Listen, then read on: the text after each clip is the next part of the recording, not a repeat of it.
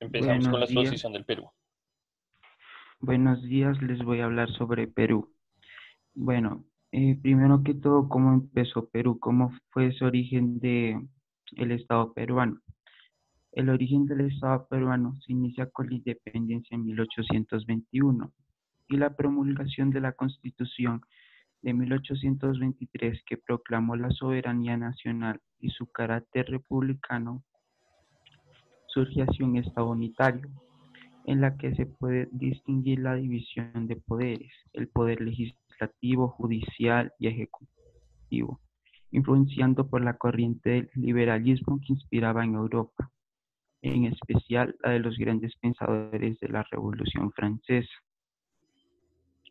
¿Cómo fueron esas causas de la independencia de Perú? Bueno, eh, antes de todo, tienen que saber que hubo como una guerra entre los españoles y franceses. Y ahí ganó los franceses y, Napo y Na Napoleón Bonaparte secuestró, secuestró al rey español y puso al mando a su hermano. Y a raíz de todo eso lo que pasó, hubieron protestas por parte del pueblo español, quienes exigían que un gobernante español fuera su rey. Mientras tanto, otro sector de la población, conformado por liberales españoles y americanos, se reunieron con el fin de crear una constitución para que al momento que regresara el rey hubiera, no, no siguiera ese dominio que antes tenía. Pero lo que pasó fue que el rey no quiso firmar. Entonces eso desagradó a los liberales españoles y a los americanos, quienes al regresar a América formaron juntas de gobierno en las principales ciudades del continente con el fin de lograr la independencia de España. Eh, ¿Cuáles fueron esas consecuencias que hubieron por lo que no quiso hacer la firma el rey? Bueno, crearon juntas de gobierno en todo el territorio, menos en la principal ciudad donde estaba el dominio absolu absolutista de España, y esta era Lima, a manos del virrey José Fernando de Abascal, quien empezó a destruir las juntas de gobierno que amenazaban el dominio de la corona española. Pero no pudo con la Junta de Gobierno de Buenos Aires, Argentina, ya que esta era la ciudad más importante del, del movimiento independentista. Esta junta de gobierno se organizó ya que sabían que si no invadían Lima, el dominio español permanecería.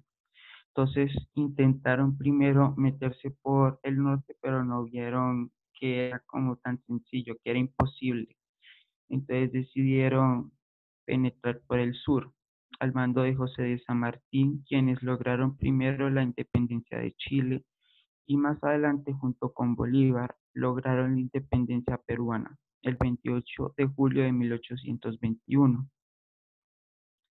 ¿Cómo era esa población que estaba allí antes, en esa época? Bueno, eh, eran blancos 5 por cada 100 personas, indígenas 58 por cada 100 personas, mestizos 29 por cada 100 personas y negros eran 8 por cada 100 personas, 4 por 100 eran esclavos y 4 por 100 eran libres.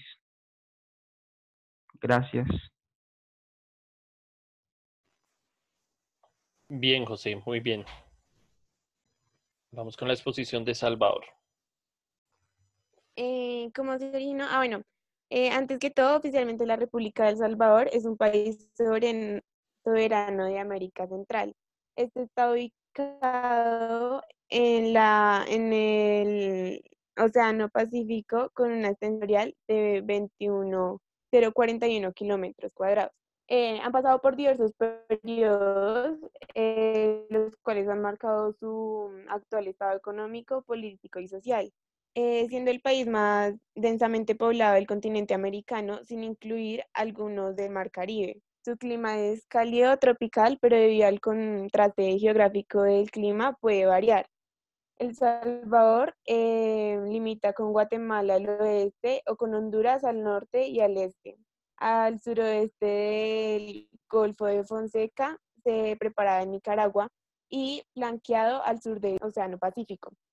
Eh, en las últimas décadas de la escala de la violencia han formado parte pues, de los salvadoreños y em, en el actual territorio de El Salvador comprende lo que fuera la alcaldía mayor de, de Sonsonante y a, local, y a lo cual fue Independencia de El Salvador que confirmó la mayor parte del territorio. Eh, sin embargo, el panorama, eh, un momento, ya, sin embargo, el panorama eh, común de los países de Centroamérica, como es un electricismo sociocultural en el que bajo el barniz de la cultura europeizante. algunos de los lugares más importantes es el Teatro Nacional, Cementerio de los Ilustres, Ruinas de San Andrés, Museo de Ferrocarril del Salvador y el Teatro del Presidente. El Teatro Nacional es uno de los lugares más importantes, pues ya que ha pasado, o sea, como que se recuerda eh, lo antiguo y todo eso, y ya que es un lugar romántico y muy elegante para las personas. Es un centro turístico y eh, histórico en los barrios del Salvador, que es uno de los más importantes. El cementerio de los ilustres, este lugar está lleno de leyendas y mitos de miedo. Aquí algunas personas dicen que es más divertido pues ir de noche ya que es más misterioso. Las ruinas de San Andrés em, es del origen maya, aún se pueden apreciar algunas e, edificaciones, de lo cual fue muy, muy importante en la ciudad. Además de las ruinas, puede visitar su museo y conocer sobre su historia por medio de una visita guiada. El Museo Ferrocarril eh, se encuentran varias exposiciones que se exhiben vagones y máquinas pertenecientes al pasado el Teatro del Presidente en la actualidad como la Casa Orquesta Sinfónica Nacional, siendo uno de los sitios más importantes del Salvador por excelencia. En definitiva, es uno de los lugares imprescindibles del Salvador debido a la mezcla original de modernidad e historia que posee. Y ya, ahora esperen, ya dejo compartir un momento. Sí, señora. Bueno, eh, yo voy a exponer sobre las causas y las consecuencias. Las causas internas fueron el menosprecio de los españoles hacia los criollos, las desigualdades políticas, porque los españoles preferían que, mm, que un español eh, tuviera los grandes cargos, así no supiera qué es lo que estaba haciendo, a que un criollo tomara el mando. El descuido de los gobiernos coloniales en lo social, lo económico y lo cultural, y la mm, impopularidad de las autoridades. Las causas externas fueron las ideas surgidas en Europa que prolongaban la libertad, la igualdad, la fraternidad y la soberanía como principios fundamentales. La Revolución Francesa de 1789 a 1799 la invasión napoleónica de España en el año 1808 y la Carta de Filadelfia en 1776. Las consecuencias están divididas principalmente en tres partes. En la política, que fue lo que dije ahorita, que preferían que los españoles tomaran el cargo. Lo social, con el trato inhumano, como trataban a los criollos y pues el Estado, los españoles siempre estaban soberanos a todos los tratos. Y lo económico eran, eran la tasa de los impuestos y los monopolios que siempre cobraban a los criollos y así los españoles estaban bien económicamente. Y las fechas fueron el 1 de julio de 1823 cuando se firmó en Guatemala el acta que proclamaba ya su independencia total, porque el acta ya estaba, pero no había sido firmada. Y ya, no había nada. El primer movimiento de la independencia de San Salvador. Espera, porque no sé qué me salió acá. Ya. Eh, espera. El, primer movimiento de la independencia de San Salvador de 1811 fue como el primer grito de independencia de Centroamérica. Y fue como todo el mundo se fue en contra de, lo, de las autoridades de la Capitanía General eh, de Guatemala. Eh, a finales del siglo XVIII, la independencia de San Salvador se había mantenido como la principal productora de añil en la región, pero el monopolio comercial impuesto por las casas comerciales de eh, guatemaltecas, junto a la crisis económica y política que sobrevino a las colonias americanas eh, del Imperio Español a inicios del siglo XIX, eh, motivó a las poblaciones de la ciudad de San Salvador para lograr un gobierno autónomo. El 5 de noviembre de 1811, los salvadoreños fueron liderados por un grupo de criollos encabezados por Manuel José Arce y los sacerdotes José Matías Delgado junto a los hermanos Aguilar. Los alzados eh, lograron deponer las autoridades coloniales y nombrar a, a sus propios dirigentes, pero la revuelta no encontró respaldo de los demás poblados de la independencia, por lo que la ciudad quedó aislada de las autoridades de la de la Capitanía General de Guatemala enviaron pues una, una misión de índole pacífica para restaurar el orden de la localidad. Este movimiento fue también el primer intento de sublevación de la capitanía previo a la independencia de Centroamérica de 1821. Eh, el cultivo de añil era una fuente importante para la economía, pero sin embargo las personas que mm, o sea, los indígenas no eran beneficiados por este recurso, eh, pero ellos ponían su fuerza laboral. Eh, en este momento, pues a ellos ya se les veía como en una posición de guerra y, y pues de injusticia. Eh, quien dio el primer grito de independencia en El Salvador fue Manuel José Arce, el 5 de noviembre de 1811, lanzó el primer grito de la independencia en Centroamérica y él dijo, no hay rey, no hay intendente ni capitán general, solo, eh, solo le obedecemos a nuestros alcaldes. Y el grito de independencia se dio en la esquina del edificio del Ayuntamiento de El Salvador, eh, proclama la, la independencia nacional. Y estos pues son los personajes importantes que fue José Matías Delgado, pues fue el, eh, allá es considerado el padre de la patria, José Simeón eh, Cañas, Manuel José Arce, Santiago José Celis, Pedro Pablo Castillo, eh, Domingo Antonio Lara y los dos hermanos Aguilar, que es Nicolás Aguilar y Vicente Aguilar. Y ya. Bien, vamos con la exposición de Ecuador. Primero vamos a empezar como la ubicación geográfica. Entonces, Ecuador es un país soberano, ubicado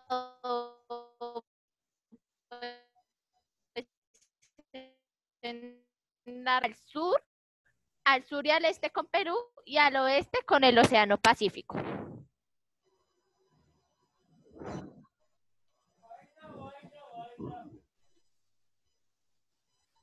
un segundo, no pasa. Ahí, listo. Tatiana. Bueno, se originó el 13 de mayo de 1830 nace la República de Ecuador. La República de Ecuador nace como Estado el 13 de mayo del mismo año, tras concluir un periodo de inestabilidad política luego del proceso de independencia de España, que en la gran batalla de Pichincha el 24 de mayo de 1822, de 1822 eh, con las tropas de Merchán y liderado por Antonio José Sucre. Em, en la historia, en la historia eh, para comenzar, habían distintos periodos. Eh, estaba el periodo precolombino, en el cual em, existieron, por decirlo así, em, existieron como varios grupos eh, como Las Vegas que se ubicaron en el territorio actual del Ecuador, conocida como la provincia de Santa Elena, también estuvo el periodo formativo, que fue uno de, también de los más importantes, donde también había eh, varias culturas. También hubo un periodo muy importante que se llamó el periodo de la integración o señorío étnico que se dio a partir de 1470 hasta 1533, que mm, fue un periodo donde, eh, donde fueron alcanzados todos los grupos étnicos por el imperio incano, que se comenzó a expandir desde el sur, alcanzando todo el Ecuador y parte del territorio a partir de 1470. Eh, este estaba al mando de Linca Tupa Yupanqui, que fueron los primeros en caer, serían los, fal- los pa- palfas en la actualidad provincia, que estaban ubicados en, en el Cañiz. Esta era una de las provincias en donde estaban ubicados los palfas. Y eh, uno de los que, por decirlo así, se caracterizaron por haber ofrecido una dura resistencia a, mm, al imperio incaico. Fueron los fueron los los em, Entonces, Quito fue la primera ciudad del actual Ecuador, que declaró su separación de España en 1812. Debido a eso, fue ocupada por las otras dos ciudades importantes del Ecuador, Guayaquil y Cuenca, continúan dominadas por España. El movimiento independista de Sudamérica se había iniciado unos años antes, dirigido por figuras como Simón Bolívar al norte y José de San Martín al sur. Esto motivó a los pobladores y soldados de muchas ciudades y regiones de todo el subcontinente a que se organizaran y promulgaran la ciudad libertad 1819 se libró la batalla de general de la Gran Colombia, en la cual las fuerzas españolas le entregan las armas al ejército de la Gran Colombia. Eh, bueno, otra consecuencia fue con la re- rendición del ejército realista español ante las tropas independentistas en Pichincha, los patriotas pudieron entrar a Quito triunfantes y en, y en forma definitiva declarar, la- declarar pues la independencia de su territorio. Eh, se anexó el departamento de Quito a la Nueva Granada desde el 29 de mayo de 1822. Para este entonces gobernaba Simón Bolívar. Cuando fue, digamos, la mm, independencia de Quito, eh, está en gobierno Simón Bolívar. Eh, capturaron la gran parte del material bélico de los realistas que ayudaron a seguir la campaña de la independencia.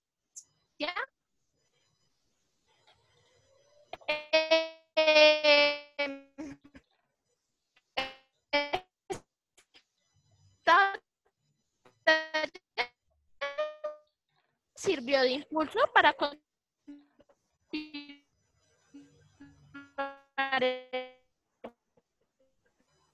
el territorio y guardar poder reino de esto de la Gran Colombia. Eh, y pues luego de esta Continuamos con la exposición de Bolivia. ¿Ahí me escuchan bien? Sí. Listo. Entonces, eh, empecemos por el nacimiento y la consolidación, el nacimiento y la consolidación de Bolivia. Eh, esto tuvo que pasar por varios procesos, ¿sí? El primer proceso y la primera lucha fueron los levantamientos indígenas en el año 1781 al 1782. Eh, esto fue causa de las, de las que, de, sí, de las constantes constante de la política de ese tiempo, había mucha discriminación en las áreas rurales. Entonces eso surgió producto de eso, ya que los indígenas querían tener los mismos derechos que las personas de la, del área urbana, ya que pues era lo más justo. El primer levantamiento indígena fue el de Tupac Amaru, el segundo el de los hermanos Katari, el tercero el de Tupac Katari y por último el de Bartolina Sisa. Luego de este hecho vino la revolución de Charcas en el año 1804 estuvo la revolución de Chuquisaca, eh, eh, el 25 de mayo de 1804. Y lo, digo, de 1809, qué pena. Y luego la revolución de La Paz el 16 de julio de ese mismo año. Luego de esto vino la guerra de las guerrillas. Eh, bueno, en esta, en esta guerra, el área se- eh, las guerras se trasladan al área rural, que eran los que estaban más en desacuerdo pues, con todo lo que pasaba el país por esos años. Eh, bueno, eran pequeñas repúblicas independientes para esa época y ahí surgieron los más grandes líderes guerrilleros pues, de ese entonces. Eh, luego de esto vienen los ejércitos liberadores que estaban liderados por Simón Bolívar y Antonio José de Sucre. Eh, también en, ese, en esa época surgieron las batallas de Ayacucho, Junín y Tumultla. Lo más importante y lo que más como que marcó la historia de Bolivia fue el decreto del 9 de febrero de 1825 de las asambleas constituyentes. En este Bolívar encomienda a Sucre resolver el problema de Charcas, ya que eso le está trayendo muchos problemas a la República. Sucre convoca una asamblea constituyente a través del, decreto que les nombré anteriormente y al interior de la asamblea se debatieron tres propuestas. La primera era unirse a Perú, la segunda era unirse a Argentina y la última era crear el Estado independiente, que por supuesto eso fue lo que hicieron. Eh, bueno, entonces en ese año nace la República de Bolivia el 6 de agosto de 1852 y Simón Bolívar es su primer presidente.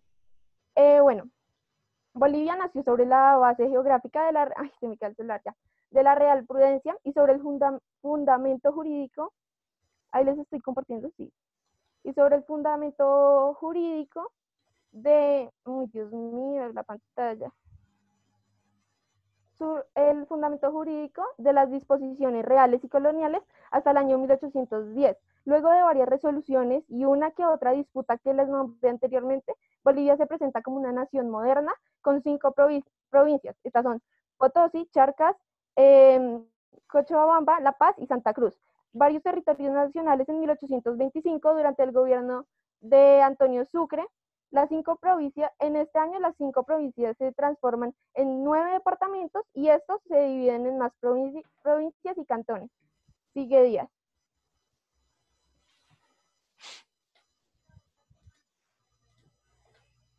Bolivia. Eh, la población de Bolivia en ese tiempo era de nove- 997.427 habitantes. La población actual es de 11.35 millones de habitantes. El gobierno de ese tiempo era Andrés de San Cruz, o también llamado Cala Humana. Su periodo presidencial fue 1836 a 1839. Eh, en, la, en el tiempo de la consolidación, eh, en 1872 se desató la Guerra del Pacífico. Enfrentó a Chile contra la alianza entre Bolivia y Perú por territorio y tuvo consecuencia final la pérdida de la salida soberana al mar para Bolivia al quedar en posesión de Chile, Antofagasta. Estas son algunas imágenes de la Guerra del Pacífico. Como pueden ver acá, este, eh, la guerra del Pacífico, también es llamada guerra del salitre y del guano. Como pueden ver, Bolivia está en la mitad entre Perú y Chile. Entonces, ellos todavía hasta el momento siguen peleando por el territorio que perdieron. Listo. Chiqui. Digo yo. De Santa Cruz, que ese pantanal lo comparte con Brasil. Recordemos que esa es la, Brasil es la frontera con, hacia el norte de Bolivia. Es el más grande